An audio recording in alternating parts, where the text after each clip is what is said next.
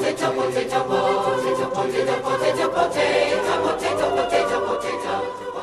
guys, welcome back to another day on the potato cleanse.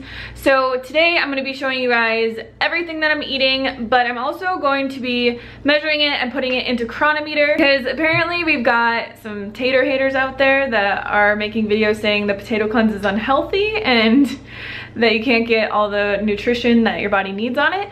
So I'm just going to be showing you guys what I ate today like I do all the time and we'll see at the end of today's video if I get enough nutrition and I'll also talk about some of the controversy that has occurred. So for breakfast, I'm making what I have every single day, hash browns. I'm gonna have a whole bag of Trader Joe's hash browns and then I'm mixing in, this is two cups of mushrooms, a little bit of onion, and then half of a red bell or orange bell pepper and half of a green bell pepper.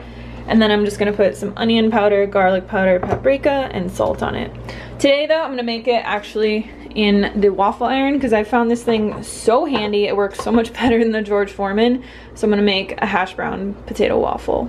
So here's my mix. So normally what I do is I'll make one potato waffle and then eat it and then make another one. So I'm just gonna obviously have to make two because there's no way all of this is gonna fit in the waffle iron.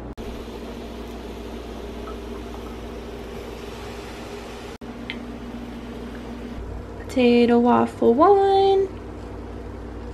Here's the second one. This one didn't come out looking too good, so I just smothered it in ketchup, sriracha, and some Carolina Gold barbecue sauce.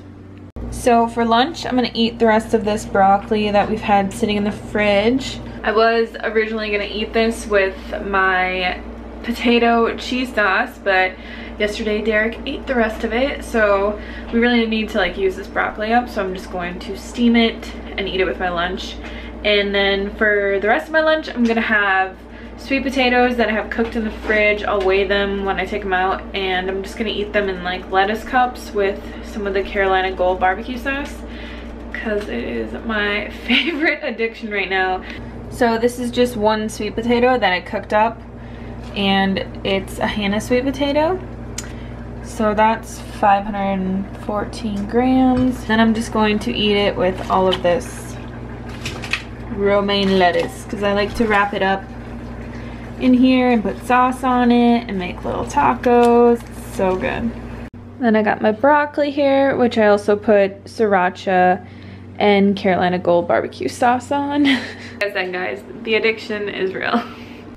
All right, so we just got home from a bike ride, which I totally forgot to take any footage of, um, but it was just nice and not super sunny out today, so we just rode around a little bit.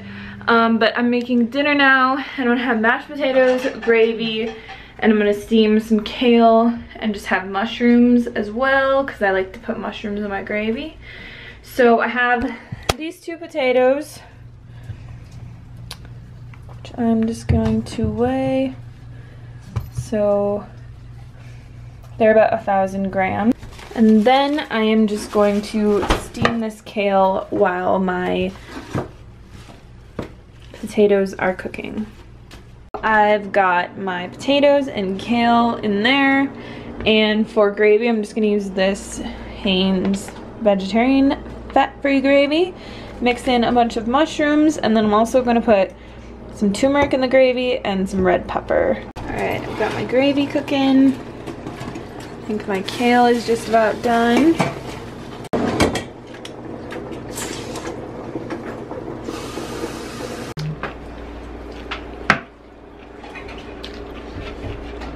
All right, so here is dinner. We've got our mashed potatoes, our carrot, or not carrot, but our turmeric spicy gravy, a whole bunch of kale sauteed, and I even put some sauerkraut on there just so we can be getting them probiotic gains.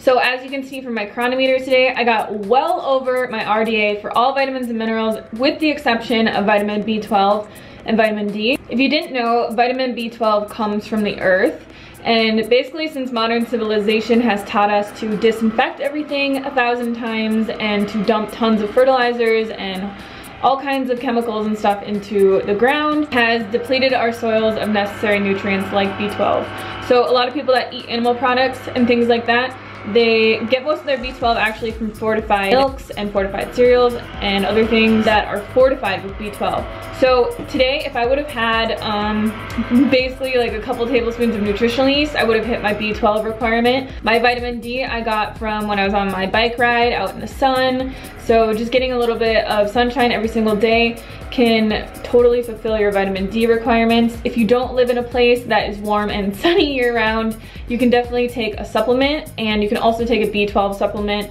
I'll link the ones that I use below because they're vegan and they're just the brands that I have come to love and to recommend to other people. So I will leave those below. But since all like these videos coming out and everything, I honestly just don't think a lot of people even looked into what the potato cleanse really is and they've obviously failed to do just a tiny bit of research to look into at least the group or you know what we're promoting or even look at my videos and show that this entire time I have promoted eating as much potatoes as you want, as much sweet potatoes as you want, and as much non-starchy vegetables as you want on the cleanse. The reason for the no calorie restriction is so that you can develop a new relationship with food so that you can get in touch with your true hunger and start to realize when you're truly, truly hungry and when you're just eating out of boredom. This diet meets the entire RDA for all vitamins and minerals that you need on a daily basis. And as you can see from what I ate today, I didn't eat like anything crazy, anything out of the ordinary. I've eaten all these foods the entire time I've been on the potato cleanse, maybe not every single day, but I have eaten these foods on the potato cleanse before. It's not like I'm eating something that's totally crazy just so that I can hit, you know, a certain nutrient or something like that. But the reason that we promote obviously eating sweet potatoes and non-starchy vegetables while on the potato cleanse is because they're obviously very high in nutrients. Just from one medium sweet potato, you get over 7,400% of your recommended daily intake of vitamin A. Mushrooms are an absolutely fantastic source of selenium, and believe it or not, you can get all the calcium that your body needs on a daily basis just from eating broccoli and kale.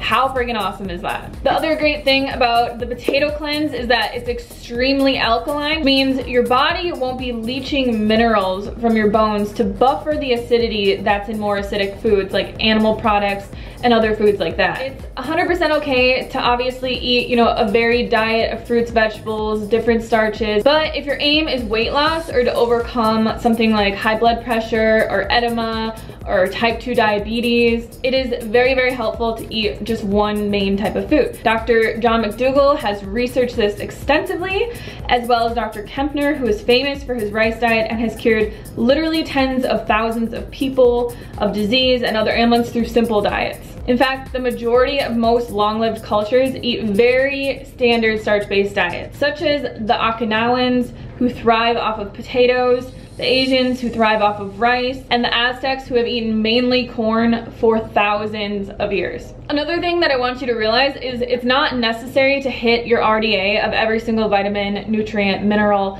you know, omega, fat, or whatever every single day. Our bodies are incredibly adaptable and they can go often months and sometimes years without certain vitamins. Point is to eat a variety of foods. Since throughout verifiable human history, we have not had such an array of foods like we have these days walking through a grocery store. Northern climates, we have fruits, berries, and greens in the summer, and we have potatoes and other starches to help us survive throughout the winter months. If it were necessary to eat the entire RDA of every single vitamin and mineral and amino acid every single day, we would literally all be freaking dead. One last thing before I sign off today, I just want to encourage people to obviously think for themselves. I know that coming to a plant-based diet or a starch-based diet or coming from wherever you come from, it can be very, very easy and simple to listen to people on the internet. I want you to realize that most people cherry pick information to suit their own agenda and what point they are trying to come across. If anybody honestly did three to five minutes of research, just Googling on the internet, you would have been able to figure out